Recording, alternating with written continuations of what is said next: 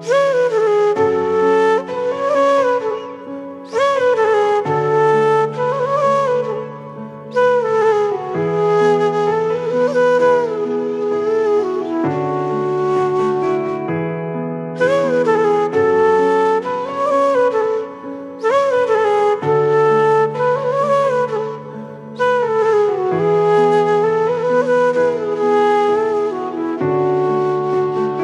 ফেসবুকে একটা ভিডিও দেখে আমার অসম্ভব কান্না পাইছে।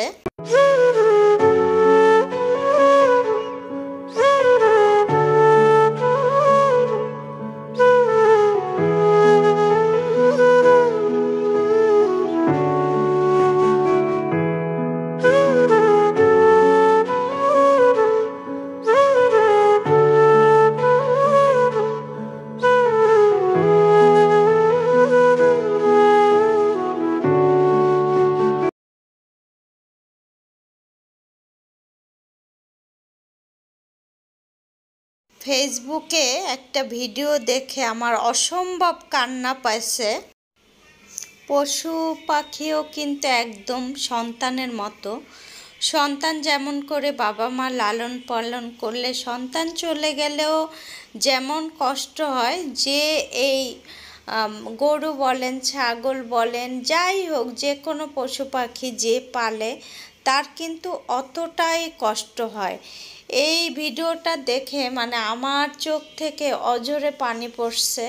মনে হয়েছে যে মানে একজন মানুষের কাছ থেকে তার ছেলে মেয়ে চলে গেলে, সন্তান চলে গেলে যতটা কষ্ট হয়, ঠিক ততটাই মানে যিনি পালছে তার ততটাই কষ্ট হয়েছে। তো আমরা এটা থেকে মানে এইভাবে চিন্তা করতে পারি যে আমরা যারা যে কোনো পশু পাখি লালন পালন করি, তাদের প্রতি জানি আরও দয়ালু হই এবং অনেকে দেখছি অনেক নির্মমভাবে পালন করে।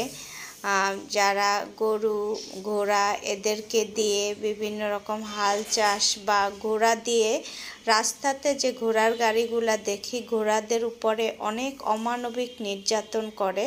তো এটা থেকে আমরা বিরত থাকি।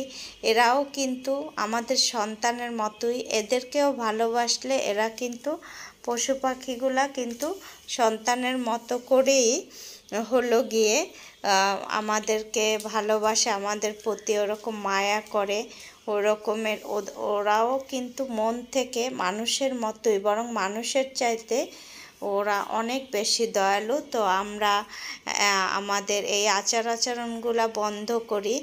এই ভিডিওটা দেখে আমার আসলে অনেক কষ্ট হয়েছে। তো তোমাদের সাথে এই জন্য আমি শেয়ার করলাম। আল্লাহ হাফেজ। আসসালামু আলাইকুম।